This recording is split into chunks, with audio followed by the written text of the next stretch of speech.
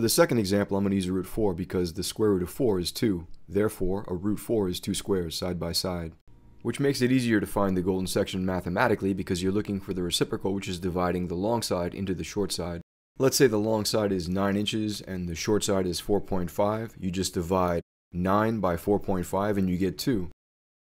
Then you take whatever the measurement is on the short side, you divide it by what you just found, and that's where the reciprocal falls into the long side. And the third way is manually, so here I'm going to use a root 5. And again, this works for any rectangle of any dimension. You simply find the right angle of any corner to the primary diagonal, and where that intersects the edge, that is the golden section. So that's 3, 4, 5, but on root 2 the golden section is actually in the center, and drawing it manually gives you the armature of the rectangle, which is how you find thirds of any rectangle in any dimension. And that leaves us with a square or the root 1. It generates its own rectangles like the whirling square or the 1.5, Using it within rectangles is actually my favorite way to design, and it's what I do best.